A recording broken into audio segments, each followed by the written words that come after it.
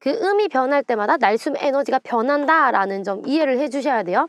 그래서 사실은 어, 이 옥타브 레 같은 경우에는 overtone 연습하는 키의 한 키이기도 한데요.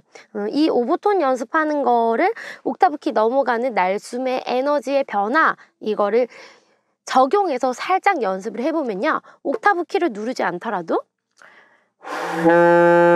내가 저음을 불어주는 에너지를 불었을 때는 저음이 소리가 나고요.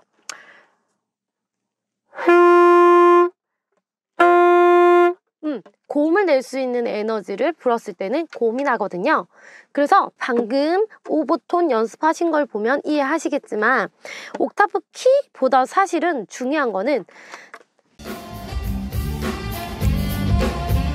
안녕하세요. 색소폰 연주자 장인영입니다. 오늘은 level book 레벨 1 옥타브 키에 대해서 연습해 볼 건데요. 음, 14페이지, 14페이지 보시면 옥타브에 대해서 정의가 나와 있죠? 옥타브, 어느 한 음에서 위나 아래로 여덟 번째 음까지의 거리를 옥타브라고 말해요. 그래서 저희는 이전에 배우셨듯이 1옥타브 하면은 1옥타브 도, 레, 미, 파, 솔, 라, 시까지 한 게 1옥타브고요. 가운데 도라고 제가 칭했던 2옥타브 도, 그러니까 도에서부터 시작해서 여덟 번째 음인 2옥타브 도를 가운데 도라고 해서 배웠었죠. 오늘은 2옥타브 도 이상 올라가는 2옥타브 도, 2옥타브 레, 미, 파, 솔, 라, 시 까지 배워볼 거예요. 그러면 이 옥타브가 들어가게 되면 손가락 운지가 많이 달라질까요? 그게 아니고 저희 악기 보시면 여기 안쪽 측면에 나와 있는 이쪽 버튼을 살짝 옥타브 키라고 하거든요. 이 버튼만 눌러주고 우리가 1옥타브에서 썼던 운지 그러니까 레 운지 그대로 레 운지 그대로의 옥타브 키만 눌러주게 되면 1옥타브 레가 아닌 2옥타브 레 운지가 되는데요. 이 운지만 눌러줘도 음의 높낮이가 변하게 되는데 이때 중요한 것은 옥타브 키만 눌러주는 것 뿐만 아니라 이전에도 제가 계속 강조했듯이 날숨의 에너지를 그 음마다 특정한 에너지를 불어서 넣어줘야 되는데 레, 낮은 레하고 옥타브 레에서는 결론적으로 다른 에너지를 스 불어줘야 된다라는 거를 집중해서 연습을 해주시면 되겠습니다. 음, 옥타브 키 어떻게 누르냐면요.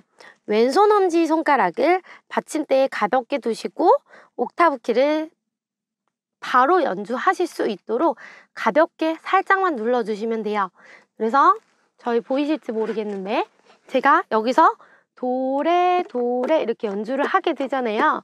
도레 도레 연주를 했을 때 이게 이렇게 뜯어지거나 혹은 이렇게 놔지고 내려가거나 이런 게 아니라 여기 동그란 버튼 이 동그란 버튼 안에 제가 살짝 앞으로 갈게요.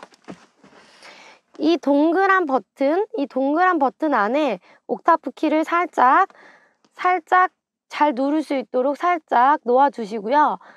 눌렀다 놓았다 눌렀다 놓았다 눌렀다 놓았다 눌렀다 놓았다 살짝만 움직이죠. 주, 움직여만 주시면 됩니다.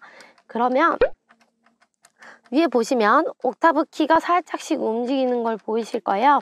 그래서 저희가 옥타브 키는 여기 위에 하나 있고요. 여기 위에 여기 neck에 하나 있고요. body에도 옥타브 키가 보이죠? 옥타브 키가 하나 더 있는데요.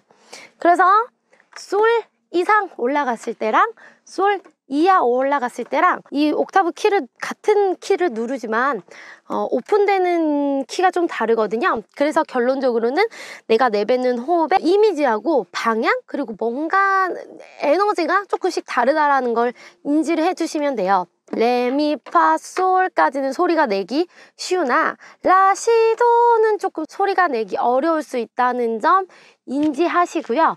오늘은 방금 말씀드렸던 레, 미, 파, 솔 이쪽 부분까지만 연습을 해보도록 할게요. 초보자분들 바로 레미파솔 이상 소리가 안 난다고 해서 너무 걱정하지 마시고요. 조금씩 음역대를 넓혀갈 테니까요. 천천히 따라와 주시면 될 것 같습니다. 옥타브 키 사용과 음정의 변화 결론적으로는 음의 변화에 따른 날숨의 에너지의 변화를 제대로 이해를 해주시면 돼요. 제가 한번 연주해보면요. 1옥타브 레와 2옥타브 레는 운지는 크게 변하지 않고 왼손 엄지손가락만 살짝 누르고 놓고 누르고 놓고 누르고 놓는 이런 모션만 추가해주면 되는데 이 모션에 날숨의 에너지를 1옥타브 레에서는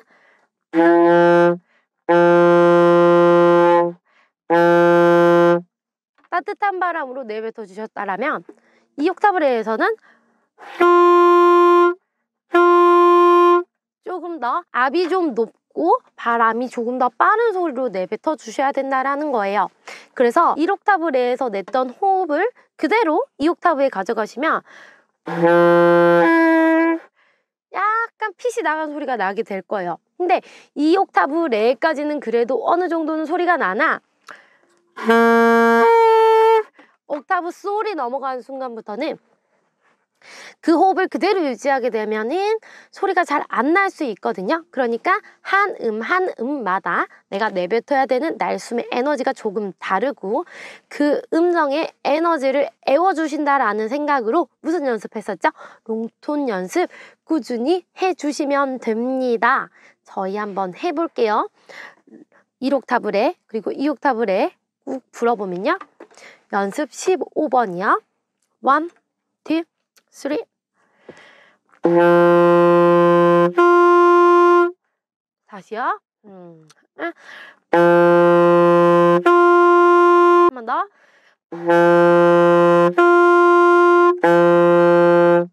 그죠? 레레레 할 동안에 텅잉으로 시작해 주셔야 되고요. 그 음이 변할 때마다 날숨 에너지가 변한다라는 점 이해를 해 주셔야 돼요. 그래서 사실은 어, 이 옥타브 레 같은 경우에는 overtone 연습하는 키의 한 키이기도 한데요. 어, 이 overtone 연습하는 거를 옥타브 키 넘어가는 날숨의 에너지의 변화 이거를 적용해서 살짝 연습을 해보면요. 옥타브 키를 누르지 않더라도 내가 저음을 불어주는 에너지를 불었을 때는 저음이 소리가 나고요.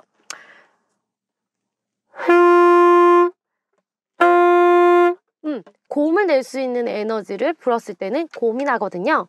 그래서 방금 오버톤 연습하신 걸 보면 이해하시겠지만 옥타브 키보다 사실은 중요한 거는 날숨의 에너지가 어떻게 변하였느냐에 따라서 소리가 많이 바뀌거든요.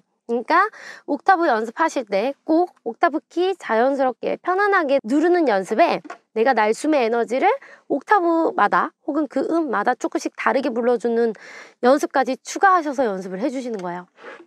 제가 다시 연습 15번 첫 번째, 두 번째 마디 불어볼게요.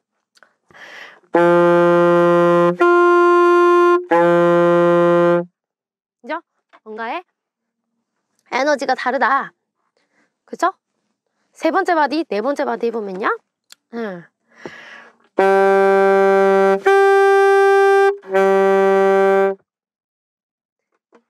네, 소리 낼 때 같은 에너지로 내면 이렇게 난다. 이해되시죠? 그러니까 한 음 한 음마다 조금 에너지 다르게 연주해 주셔야 돼요. 그 다음에 파, 파, 파 여기도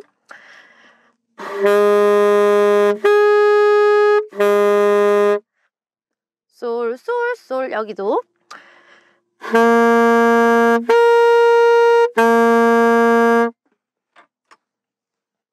이해되시죠? 음, 레미파솔까지 저희가 배워봤고요.